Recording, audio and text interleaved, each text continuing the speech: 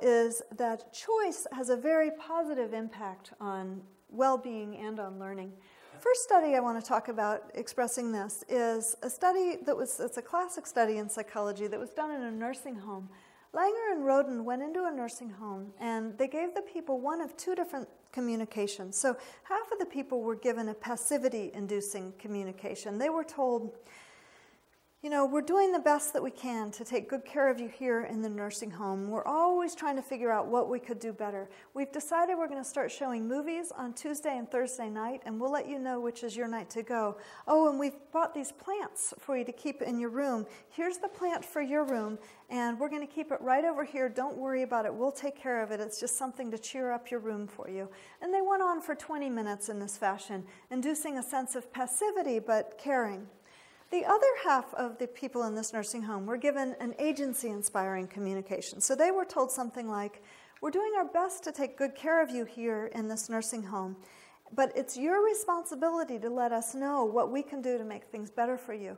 We've decided we're going to start showing movies on Tuesday and Thursday night. You can decide if you'd like to go and which night. And also, we've bought these plants. Uh, you can choose a plant for your room if you'd like, keep it where you'd like, take care of it as you like, and so on for 20 minutes.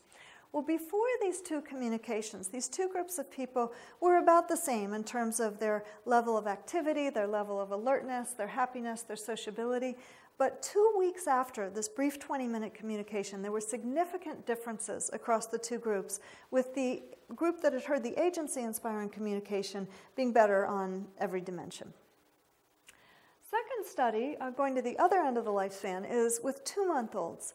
In many psychology studies, particularly of um, memory and of a sense of uh, self as agent, they will put um, mobiles above babies' cribs that the babies will look up at and they can operate. In some studies, by turning their head against a pressure sensitive pillow, and in other cases, by kicking a foot that has a string attached. So, so in, some of the babies then can operate these mobiles, and other babies cannot. The mobiles just go on at random points during the day.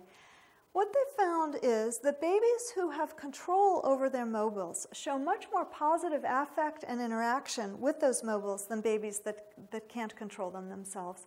And second of all, when they're put in a new situation where all babies can control their mobiles, the ones that could control them in the first situation very quickly figure out that they can control the new one and start to, whereas babies who could not control the mobile in the first place never figure it out.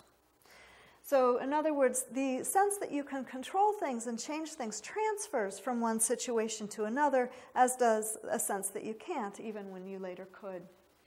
Third study supporting the positive impact of a sense of choice is a study looking at proficiency with proofreading. So, people were given a, a task in which they had to find errors in a paper. And they were all under particular conditions of noise. So they're hearing a noise in the background that I imagine to be something like beep, beep, beep, like when a truck is backing up. And half of the people were told, you know, I'm really sorry about the noise. If it's really bothering you, just push this button and, and we'll stop it. We'd rather not, but if you need us to, we will. The other half were told, gee, we're really sorry about that noise. There's nothing we can do about it. Just do the best you can.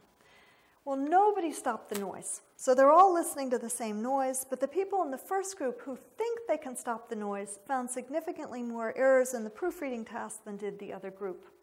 In this study, they also used an unsolvable tangram task where people have to put together shapes to produce other shapes. And the people in the first group also spent significantly longer trying to solve the tangram task. So they showed more persistence just because they believed they had control over this terrible noise. And these findings all are sustained in classroom research as well. They don't just occur in laboratory and nursing home and crib type situations. They also occur in classrooms where children who believe that they have more control over their classroom situations also write better essays and, and do better in many ways in classrooms. And it's not just that the teachers are able to give more control to children who are higher functioning because when teachers are trained to give children more of a sense of control in the classroom, then children's performance goes up. Montessori saw all this. She said, Our individual education is based on the free choice of the child. Many of the materials, even, are about the child making choices and decisions. But on the macro level, as I said, the child walks into the classroom in the morning and thinks, gee, I think I'd like to go work on my color tablets today. Or, gee, I'd like to go and work more on um, a report that I was writing today. Now, it's not quite as free as you might think. So, uh, recently I was at a school in Texas and they told me about a 17 year old coming back to the school that she had graduated from at 14 and saying, You know, you all really had us fooled when I was here because we really thought we had control over things. But now that I look back, I realize how much the teacher really was in control of things. So, so the teacher is sitting back and noticing if a child is following up on their lessons, noticing if they're getting to all areas of the curriculum.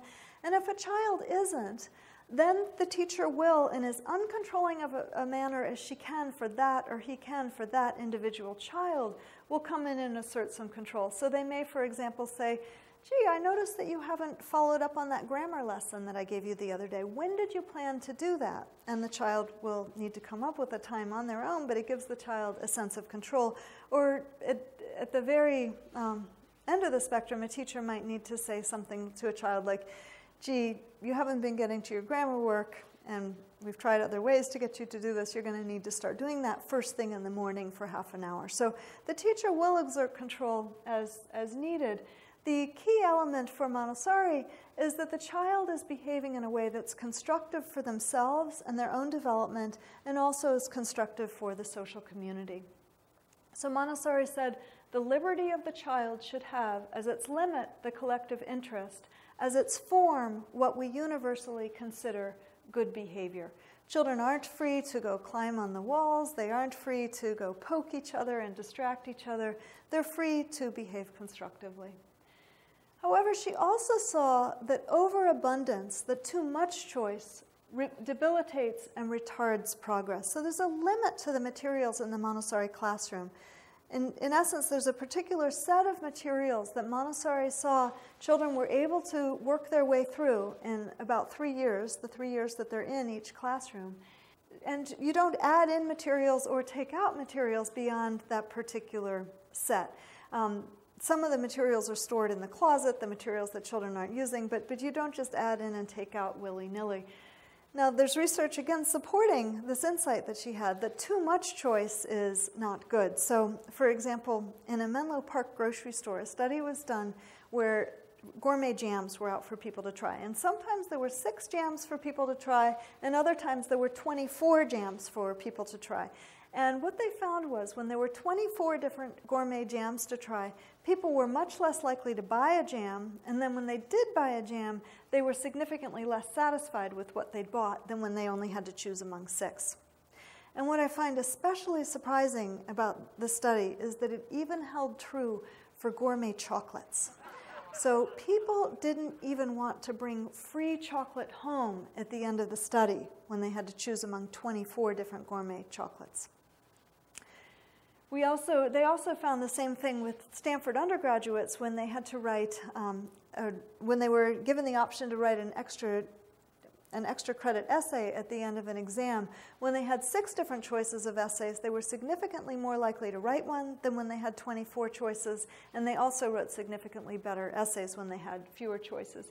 Barry Schwartz has uh, capitalized on all this in a recent book that came out called The Paradox of Choice, in which he talks about the great difficulty of going into a, a Gap jean store and trying to buy some blue jeans because there are just far too many choices. Do you want the bell bottom? Do you want the faded? Do you want the holes in them? And, and so on. So Montessori saw that overabundance debilitates and retards progress, and the choice that a child has in a Montessori classroom actually is limited. They're limited to the materials that they've already been shown how to do, and they're, they're limited in the sense that they're moving along in a curriculum and there's a particular area that would make the most sense for them to work in.